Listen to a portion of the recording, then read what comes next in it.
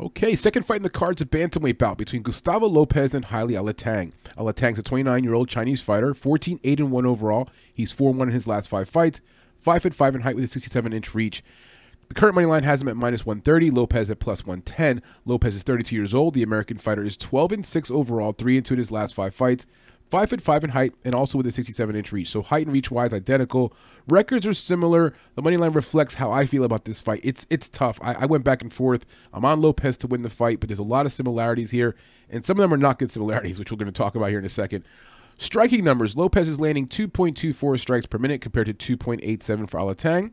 Alateng is absorbing 5.82 strikes per minute, and Lopez is absorbing 4.65 strikes per minute. In terms of the takedown offense, uh, Lopez is averaging just about one takedown per three round fight, whereas Alateng is getting 2.33 takedowns per 15 minutes or per three round fight. Alateng's got great takedown defense, defending 100% of the takedowns against him, whereas Lopez is defending only 27% of the takedowns against him. As for Tapology, Alateng is the big favorite. 71% of the votes coming in here are for Alateng to win the fight. And initially, I was on him to win the fight too. I heard some cappers talking about it before I even did my full breakdown, and so I was a little jaded, you know. Then you start watching the film, and just there's glaring issues with both fighters. Um, let's point out here. Let's look at Gustavo Lopez first. Okay, he's coming off a loss to Andre, Andre Adrian Yanez. Okay, not a bad loss by any means. By any means, uh, Adrian Yanez is a guy who's going to be competing for a title soon at some point. Very gifted, great striker.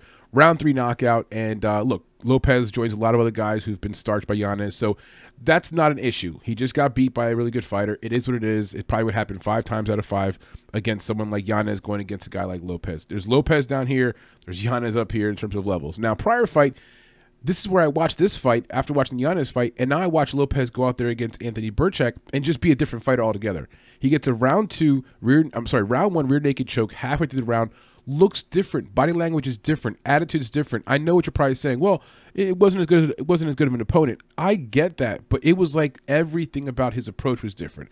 It was like when he walked in there against Adrian Yanez, he was in survival mode from the minute he walked in backing away, didn't want to engage in anything, wasn't really even trying to take him down, just was scared. Was scared. He knew Yanez was a good fighter. He couldn't mentally just deal with it, I guess. So it wasn't like it was a different fighter. That's my point. So against Anthony Birchak, he looks good. Gustavo Lopez gets the back position, you know, grinds him out in the ground, starts punching him, slips in the hooks, gets the rear naked choke. It's beautiful. Looks great. Fight before that, he fights Merab Dvalishvili. Dvalishvili is a good fighter. He's a decision machine. He always wins by decision, and he ends up beating Lopez here by decision. But it's how it looks. It's again, Gustavo Lopez doesn't look like he did against Anthony Birchak. It's like he accepts the fact that I'm probably going to lose this fight against Merab. He's a better fighter than me. I need to be cautious. I'm not going to win the fight. I just want to get out of here. Survival mode, survival mode, survival mode. He loses by fight by decision. So when you look at him against guys like Jose Aldo or guys against like Vincent Marquez or against Joey Roquette, it's a different fighter. Okay, for some reason Lopez goes into those fights against those cans or lower level fighters, and he's like, I could do it. I believe in myself. When he steps in against a better opponent like Adrian Yanez and Merab Dvalishvili, the game plan's different. He looks different. His striking doesn't look good. He, he's just backing up more. He's very hesitant. So you know that's what I see from Gustavo Lopez. And if you're not sure, you can confuse that with just bad fighting. I think it's just little nerves. I think he's a little bit too cautious, a little overly cautious, if you know what I'm saying. All right, let's talk here about our Asian friend here, Heili Alateng. So Alateng, look, he's got all that thing that the Asian fighters got, where you know he's he's young. Well, no, I'm sorry, not very young, but he's got these fights in the, in the Far East. Some of them, it's like, did they happen? Did they not happen? Who were the opponents? Was the what was the level of competition? Just a lot of questions about who he's been fighting. And then when you watch him fight, when you watch him fight, oh, there's even more questions. Let's talk about his fight against Casey Kenney. I like Casey Kenney. He's a good fighter, right? But Casey Kenney goes out there and looks like Conor McGregor in his peak when he's fighting against Alateng. He's kicking the hell out of him. He's chewing him up. He's landing whatever he wants to land. And Casey Kenney's a good fighter. Okay, but he's like an above average UFC fighter. He went out there against Alateng and he looked like the world beater of all world beaters. And Alateng's out there like just getting tagged, can't counter fast enough, just cannot even anywhere keep up with Casey Kenney. So keep that in mind when we're thinking about where Alateng is at. He's not going to make any moves towards any title shots. He's that first generation of Asian fighters who are trying to get up into the UFC and you know get some marketing going, get some fans going. But this guy's not going to contend for a title at any point. I'm sorry to say that, but I just I just don't see it now. So against Casey Kenney, he looks like just shit for three rounds of just shit. Casey does whatever he wants to do in for three rounds. Against Ryan Benoit, Okay, here's interesting. Ryan Benoit goes all the way over there for when Korean Zombie fought 2019. He goes all the way over to Korea. The American fighter goes to fight against Heili Alateng. They go to a split decision. Okay, Ryan Benoit is 10 and 8, y'all. Ryan Benoit has lost four straight fights. He's lost seven of 10 fights. The dude is on a terrible streak. He's not a quality fighter. And when you watch this fight, he looks good. He looks good. He does a, he lands a Superman punch in round one. He lands a, he lands a, he lands a body kick in round one that looks like it's about to fold over Alateng. And you're watching the fight round one. You're thinking, damn, Benoit's gonna get the win, and he does win round one. Every judge had Benoit winning round one on their scorecards, but then he proceeds to go on and just not win round two and gets wrestled down and it gets a little bit hairy and he loses by split decision. I think it was a fair decision. I mean, it was in Korea for Christ's sake. You can't not give a close decision to the to the far eastern fighter, right? Um, but my point in that fight is Ryan Benoit is not, you know, again, the guy has lost four fights in a row, seven of ten fights. He's not, you know, he's he's barely hanging on here to whatever's left of his UFC career, and he's a ten and eight overall. But when he fights against Heili Alateng, you can watch the fight. The link is in the description. It's a close fight.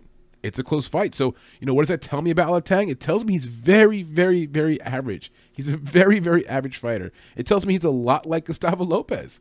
You know, I think Lopez may have a slight, uh, let's say, advantage in fighter experience because Lopez, when you look at his recent fight history, he has fought Yanez, he has fought Merab Dvalishvili, he has fought Jose Aldo, he has fought Birchak, he's fought at least some guys.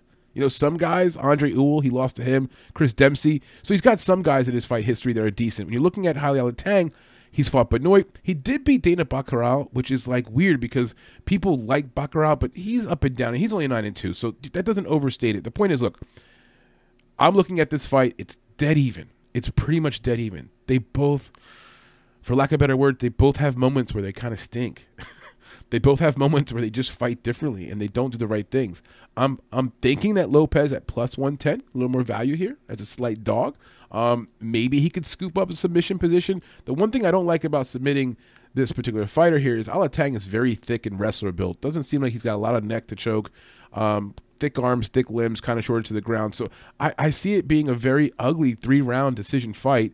It makes sense that it's early in the prelims because these, these guys are lower level. They just fight very lower level. So I'm giving the edge here to Lopez. I think his experience um, I think he's got a little bit harder of a fight history behind him. He's fought some better guys. I'm hoping he takes the experience from Yanez and Merab Dvalishvili and is able to do enough here to get himself in position. A little wrestling, a little back control, a little backpacking. The fights here in the United States.